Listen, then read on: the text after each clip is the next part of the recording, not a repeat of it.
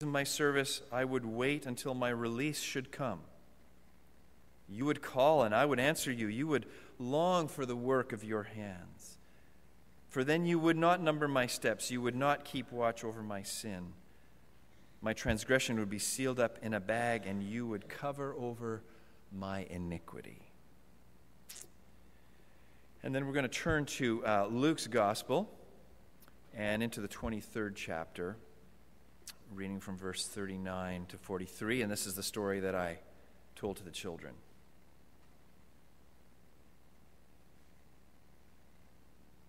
One of the criminals who were hanged there kept deriding him and saying, Are you not the Messiah? Save yourself and us. But the other rebuked him, saying, Do you not fear God, since you are under the same sentence of condemnation? And we indeed have been condemned justly, for we are getting what we deserve for our deeds. But this man has done nothing wrong. And then he said, Jesus, remember me when you come into your kingdom. Jesus replied, Truly I tell you, today you will be with me in paradise. This is the word of the Lord. Thanks be to God. Well, I appreciate that. Uh, Joel invited me to come back and uh, preach here once again. That's usually a good sign uh, when you get to come back. Although he's never here when I preach, so how would he know anyway, right? Uh,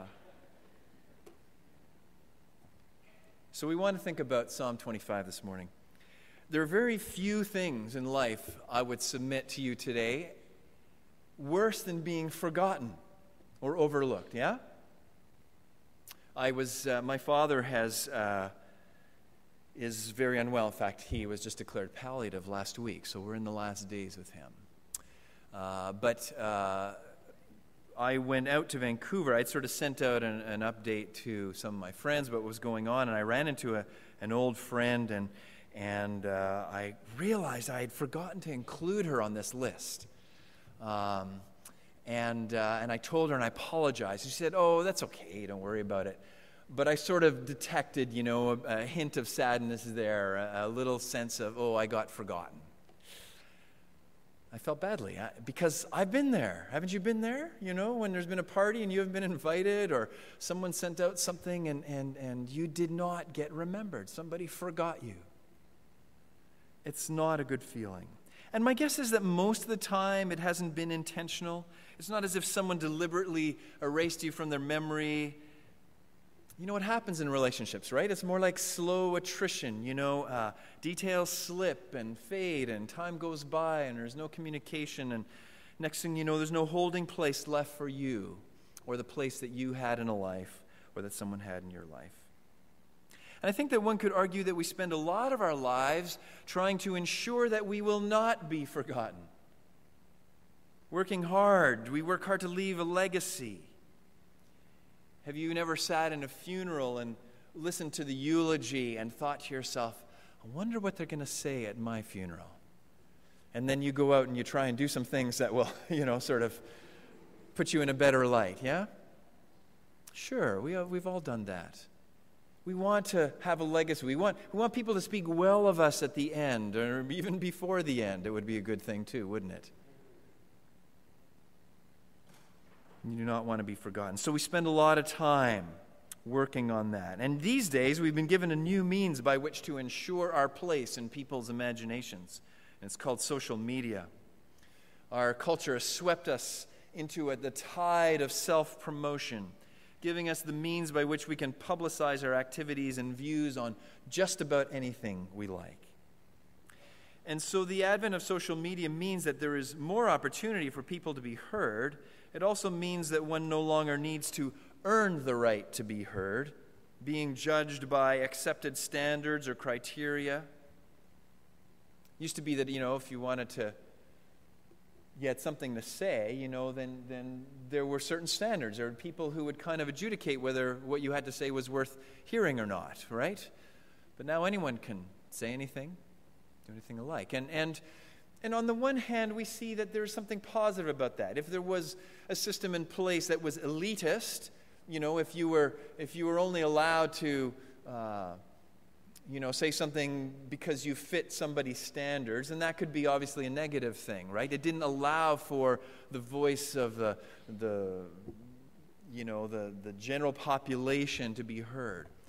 But the opposite side of that is that, is that there's now no criteria. You can say whatever you like, and there's no one judging, no standards, or at least it, the standards that are there end up becoming these silly arguments all the time, and so on. And so we're raising kids who think that they should always be at the center of attention because they've been exposed and promoted on Facebook by their parents or whoever, and then encouraged to do the same for themselves. I mean, this is just creating more and more of a culture of narcissism, just feeding into what is already there, but it's getting worse. And yet, if we just step back for a second, we could see that so much of it in this social media universe is a cry to not be ignored or forgotten. But surely that impulse has always been there, even if social media is not. Um, I have to be careful where I say this. I'm looking around. But, uh, you know, I've been in lots of churches. In fact, I've pastored a church where um, people used. Um, uh, they often would hold institutions hostage by offering large sums of money just uh, then so their name could be sort of put on a plaque or in a window somewhere in a sanctuary. I remember being held hostage by such a family when I first arrived at a church that I pastored. And so we find ways, we used to find ways to make sure that we were remembered. Monuments to people's egos and insecurities are somewhat harder to erase from those old days. At least with social media, it's just a couple of clicks and you can get rid of them. But uh, although that's hard too. And why do we do it? Well, the psalmist has some, something to say about that. The psalmist knows that life is short. Psalmists articulate this well in another place in Psalm 103 As for mortals, their days are like grass, they flourish like a flower of the field, for the wind passes over and its place knows it no more. You find a lot of that kind of thinking in, in the Psalms at times. It's like our life is short, it goes quickly when you look at the big picture. But we try to make our mark, but it's rare that we are peace, at peace with it, right? With the mark that we've tried to make. And so, faced with this, the writer of the 25th Psalm is crying out to God in prayer, asking for help. Correct me if I'm wrong. Are you in a Psalm series this summer? Is that right? Okay. I'm preaching a couple of places this summer, and I knew one of the congregations in a psalm series. It's good. It's a good thing to do. Um, Anne Lamott uh, has a book out uh, called, um, I like the title of this book, Help, Thanks, Wow. The three essential prayers. You want to boil prayer down to three things? It's help, thanks, and wow. And this psalm is one of these help kind of prayers. And, and, and Psalms, there's many Psalms that fall into this category. They give us ways to pray in the most basic situations of life when we don't know what to say. The Psalms make us articulate in the language of prayer that flows out of our deepest experiences. And this psalm, in many ways, is a help psalm. It begins, To you, O Lord, I lift up my soul. Don't let me put, be put to shame. Don't let my enemies exult over me. It ends by expressing the same cry I'm lonely and afflicted. Relieve the troubles of my heart. Bring me out of my distress. Consider my foes and their violent hatred of me. Redeem Israel, O God, out of all its troubles. And so these verses frame this psalm. And that's important when you're studying or thinking about a psalm. How, how, what is the structure of the psalm like? And, and, uh, and so we see these verses framing the psalm. They're cries for help but they, they frame what at the center of the psalm is a very important word. Well, actually, sort of inside that frame are a couple more requests, and they are to ask God to, to help us uh, to find the way. There's lots of language about the way or the paths that we should go. Make me to know your ways, show me your paths, lead me in your truth, and teach me. For you I wait all day long. But it's at the center. All this, this kind of longing, these cries uh, for help and then a cry for a way to go kind of point us to the center of the psalm. And here we hear these words Be mindful of your mercy, O Lord, and of your steadfast love, for they have been from of old. Do not remember the sins of my youth or my transgressions. According to your steadfast love, remember me for your goodness' sake, O Lord. There it is. That deep impulse that has been expressed in so many places. We hear the Psalms of pop music. How many of you remember from the Breakfast Club Simple Minds song, Don't You Forget About Me? Great pop song. But that impulse, that deep human cry, Don't you forget about me, it's there. We're not sure that we're going to make it, so that's why we do what we can have people remember the good things we do. We want to somehow be assured that we haven't lived this life in vain, that we've made a difference, that we've counted for something.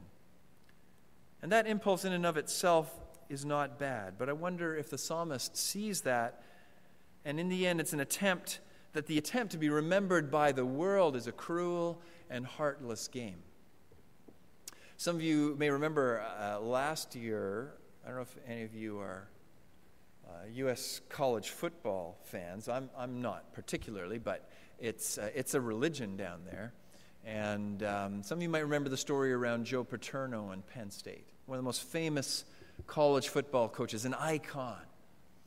And, um, and there was stories of sexual abuse that happened amongst some of the players because of one of the coaches. And the accusation is that Joe Paterno knew about it but didn't do anything. He was guilty of that. Well, there was a huge statue or a statue of Joe Paterno at Penn State. Big bronze statue. And if you remember the story, they pulled it down. That was, um, that was hard for a lot of people. And uh, the memories of football supremacy and excellence now tarnished and tainted. The sins are exposed, the damage is devastating. The wind passes over, and its place knows it no more. Psalmist knew that these things would happen to football coaches and to ministers and to people just like you and me all over the world. The psalmist, and I suspect Job, whom we heard earlier, was in a similar situation to the psalmist, cry out to God in despair, knowing that one day all who know them will pass away and that their achievements will not be remembered. It's kind of sobering, isn't it? That one day no one will remember anything you've ever done.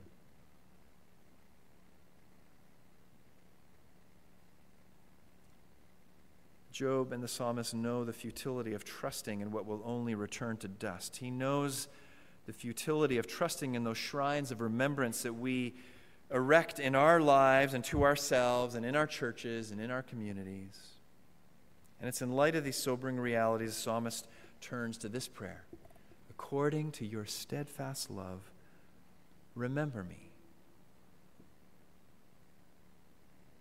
And I want to suggest that what holds that space together, the tension between wanting to count for something in this world, but realizing that in the end it will all disappear, the one thing that's going to hold that together is the divine memory, the memory of God. Not our memory of God, God's memory of us. And it is God's memory of us which makes it possible for us to neither abandon our sorrow nor to surrender our hope. And it is God's memory which gives a boundary to our despair, to our hopelessness, to our cry for help, our dislocation. Think about what the scriptures say. It's the memory of God who remembered Rachel and filled her barren womb. It's the memory of the God who heard Israel groaning under the burden of cruel slavery. And the scriptures say he remembered his promise to Abraham, Isaac, and Jacob. It's the memory of the God who heard the desperate cry of the frightened thief on a cross and who made a promise to accompany him even beyond death.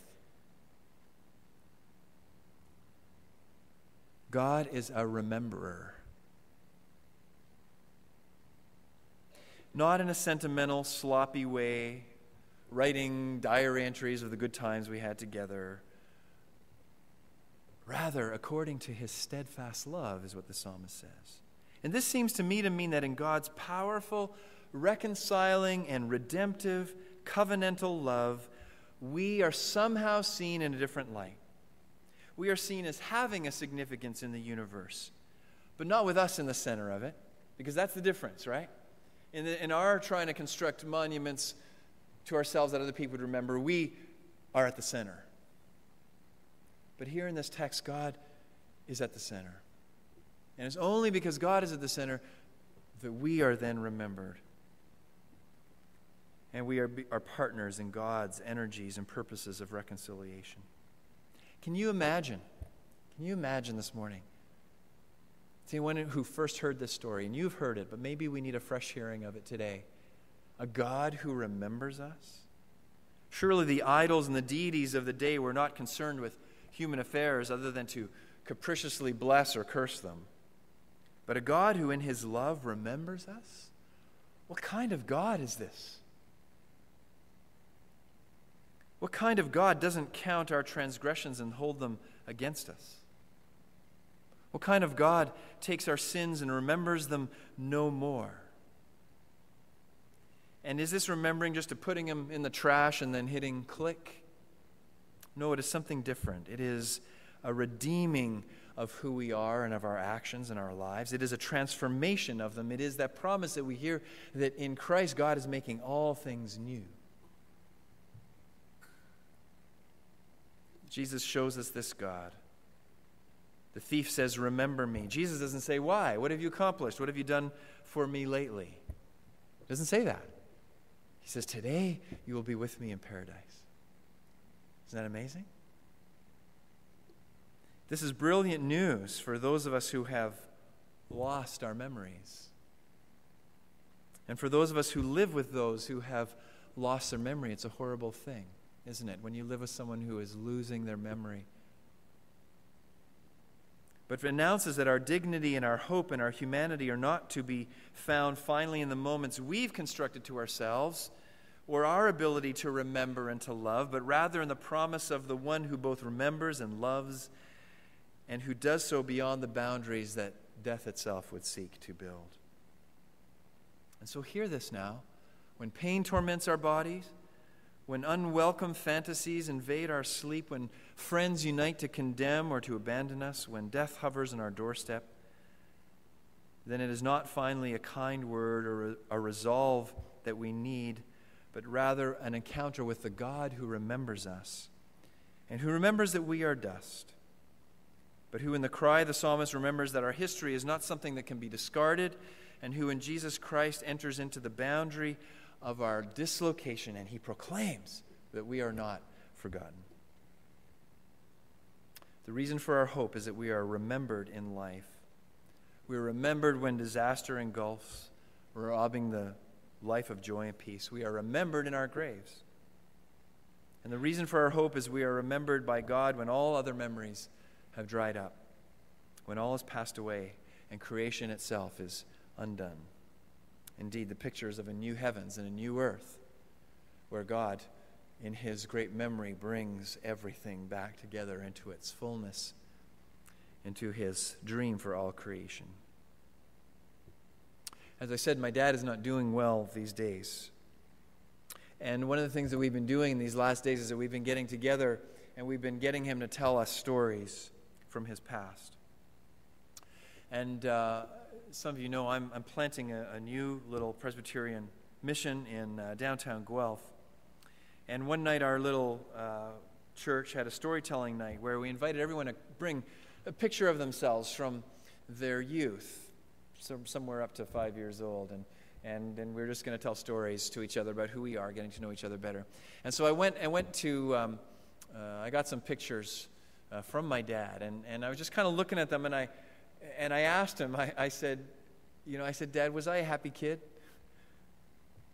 And he said, Yeah. He says, You were a pretty happy kid. And, you know, I don't know if I can convey how much that meant to me. That my father was and is holding these memories of me in his heart, in his mind, even in these last days, that I was a happy kid. And to be remembered by him like that right now makes me think and hope that this is something that will forever be his, holding his son in his memory with fondness. In your love, remember me. And I somehow believe that our Heavenly Father will do the same.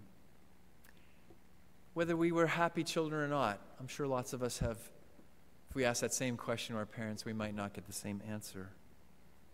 But even if we weren't, that we would know our true identity, that God, our Heavenly Father, would know our true identity, has known it, does know it, and that our desire to be deeply loved and to have our essential humanness cherished, that the flaws and the terrible waiting of so much of our lives for bad news, for good news, for no news, that all of this is being redeemed.